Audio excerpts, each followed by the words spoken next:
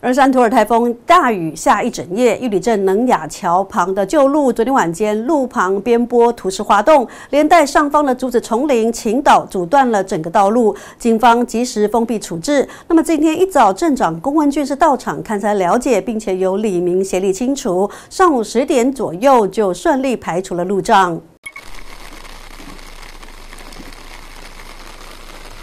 昨天台风夜第一时间赶到道路灾害现场的远警，赶紧拉起封锁线，禁止人车通行，以免发生危险。而接获通报后，也在今天早上五点多就到场看灾的镇长龚文俊，看见一大片竹林横亘在路中央，赶紧请里长处置。拉电线，这个要请那个电力公司哦专业来处理，不然真的是高压电线哦。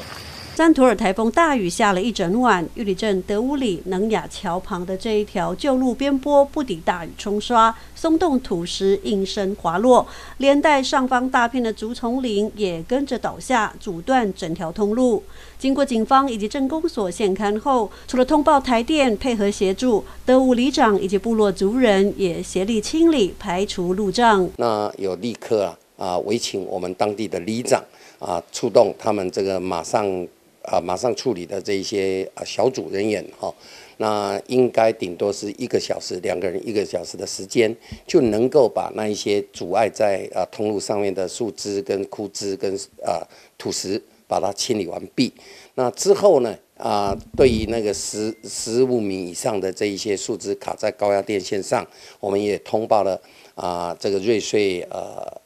台电哈台电之瑞穗分驻所。的人员去呃紧急的断电，那么啊他们也会来对这个专业的处理，那之后呢那边就完整了，所以啊民众也不必太过于惊慌。经过李明通力合作，上午十一点左右，倒在路中央的竹子土石全部清除完毕，恢复正常通行。镇长龚文俊也感谢台电公司及时配合以及黎明的协力排除路障，并表示。山图尔台风期，也请民众提高警觉，如有灾情，随时通报，镇公所也会及时处理。记者张敏泰、石玉兰、玉里镇采访报道。